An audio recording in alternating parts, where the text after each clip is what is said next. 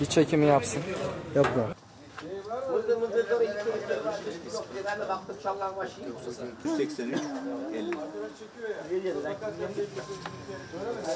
Yastık. Sigara gözüküyor.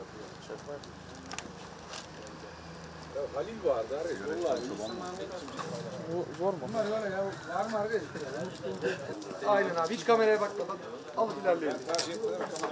Abi sen devam et. Senin eski foto çektiğin foto nasıl?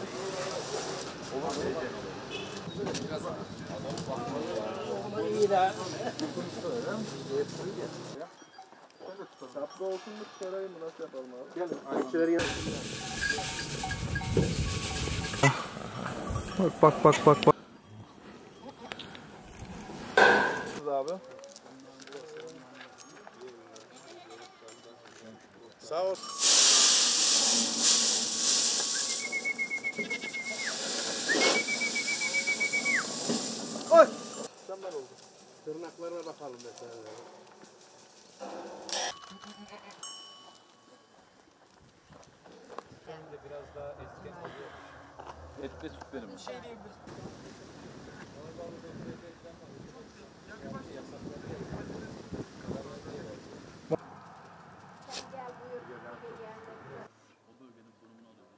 Bağlantı başarılı.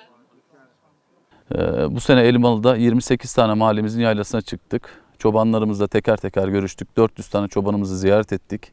İhtiyaçlarını, taleplerini, sıkıntılarını dinledik. Gerçekten çok zorlu şartlarda, e, zorlu bir coğrafyada, zor şartlarda üretim yapmaya çalışıyorlar. E, Üretime katkıda bulunmaya çalışıyorlar. Biz de elimizden geldiğince onlara e, yem desteğinde, saman desteğinde, vitamin mineral taşı yardımında, gölgelik, yemlik, suluk desteklerinde, veterinerlik hizmetleri desteğinde bulunmaya çalışıyoruz.